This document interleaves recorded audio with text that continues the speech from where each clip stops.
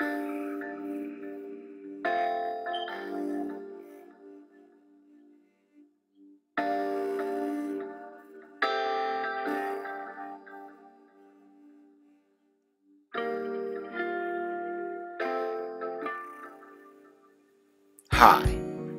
I am Michael Dailey, and you are live at the garage.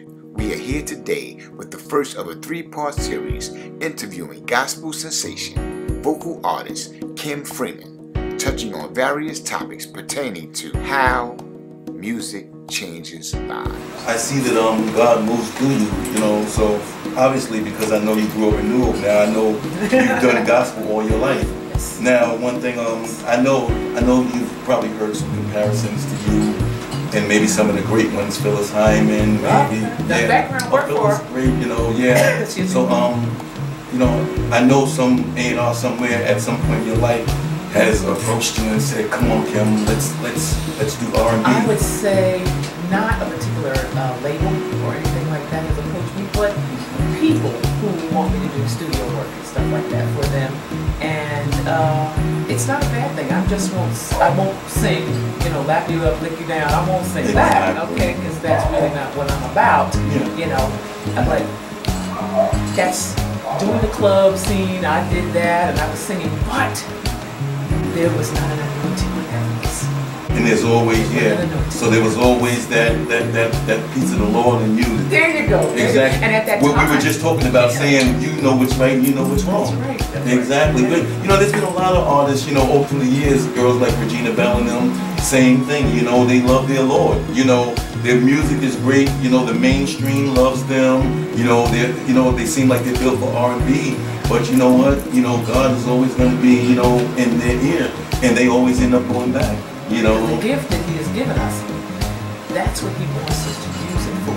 Exactly. Now we talked about free will. You have the free will to come and go and do and take that gift and do what you want to do. But the thing is, when the Lord is calling you, nothing seems to hold. Nothing seems to work.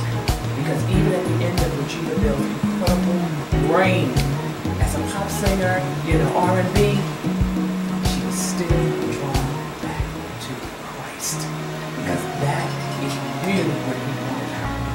But he didn't do it. He didn't take her voice. He didn't do this. And. But that still small voice inside her says, this is what I want to be. Even when I was doing club and I wasn't, my relationship with Christ wasn't as strong as it is now. But it was never severed. It was never severed. Never said it because my dad and my mom were in the church and they were taking us. You know what I mean? And that's another thing. You don't send your children to church.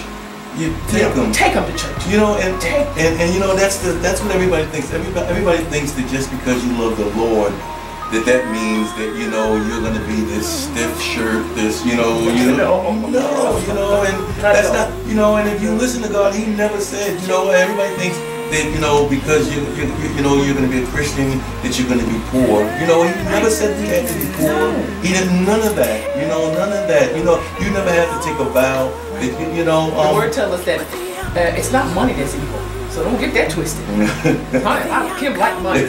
And Kim makes money. Ah, okay? It's the love of it. Yeah. It's the love of money. Is the root. The root of all evil because you let it control you to the point where it has an address, a zip code, and it has a social security number. Yeah. So therefore, if you let it control you like that, then it is the root of all evil, not money. Because you need money to live. You need money to buy food. You need money to buy clothing. You need money to pay your tithes and your offering. Okay? But it's the love of it when it controls you and it has a whole other life of its own to where you forsake everything and everybody for it. You'll even take, you'll even turn your back on people for it. You know? You'll do crazy things. Crazy things for the dollar. Just remember that